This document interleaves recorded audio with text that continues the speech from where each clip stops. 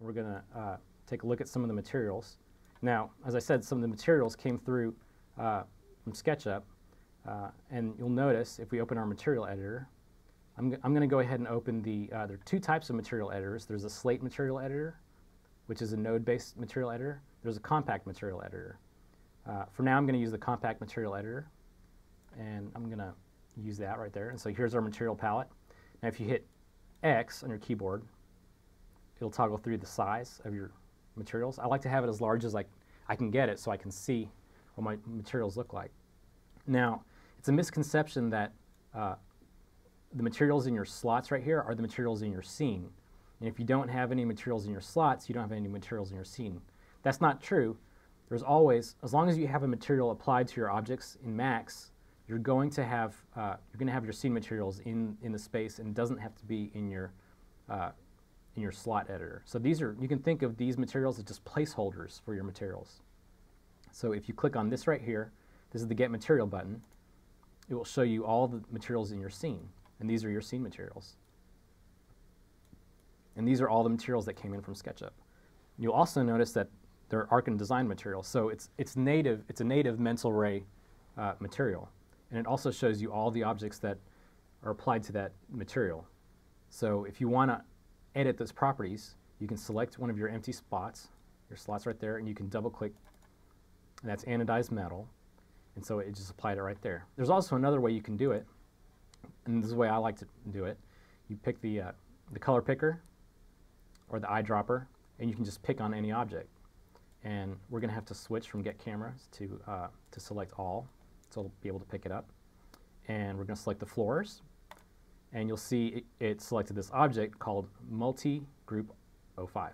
Now it comes up with this name, and it's an arbitrary name uh, for applying, this is, this is a multi-sub object material. Now sometimes it's very difficult to understand what this is, and I'll open the Slate Material Editor to give you a better idea of what, what that really is. So if we go to Mode, and you, and you click Slate Material Editor, this is, uh, this is new, uh, to 3ds Max. And uh, what's nice about it is it shows you exactly what you're looking at. So this is our sample slot. If we click and drag this multi-sub object into the space here, I'm going to say instance. And uh, this is an instance, meaning that we're going to copy that same material over and not make a copy of it. So now you can see really what's going on. So we have a series of Arch and Design materials, and these are all the materials from SketchUp. So, so this is slate material. This is the default SketchUp material. So any of my walls that were white, like a drywall or an object that I left white in SketchUp, this is the default SketchUp material.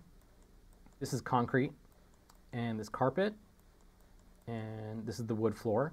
So it's important to name them because that way you know exactly what the materials are. And so you can see that these are multi-sub object materials because they has multi materials and they're applied uh, into this. This is a kind of a container for those different materials.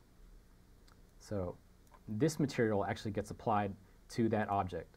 So if I select this floor here and I hit Alt Q to isolate the selection, you can see that I've got all those different, they're all floor materials. Now if I go to, if I hit P to go to perspective, I toggle around, you can see that these are the different materials that are in that multi-sub object material.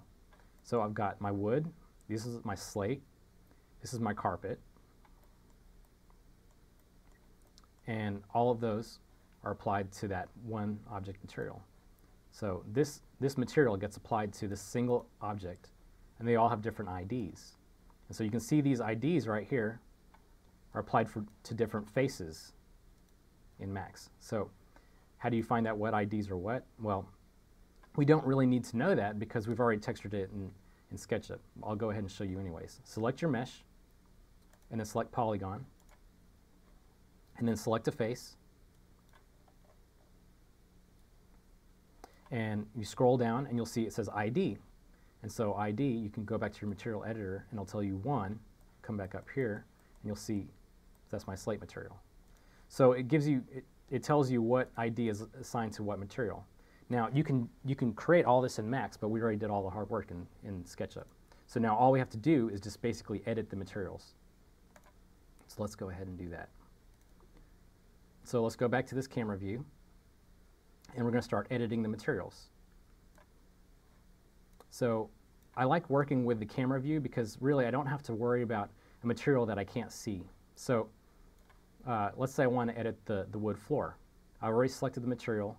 I'm going to come down here and choose wood floor. Now that's going to take me inside the wood floor material. Now you'll notice it may seem very dark. Uh, a lot of the times that's because uh, we have to adjust our gamma settings. Now if you go to uh, rendering and gamma right here, gamma slash uh, LUT or lookup table setup, it's 3ds Max by default has already figured out what kind of gamma settings it needs. And for me to explain this, it'd be a whole nother course, but I'm going to go ahead and uh, leave it on at the default. and all we're going to do is check Affect Color Selectors and Effect, uh, and affect Material Editor. When you do that, now the, the materials will get colored uh, to the way that you should be able to see them in the screen and the way they're going to render.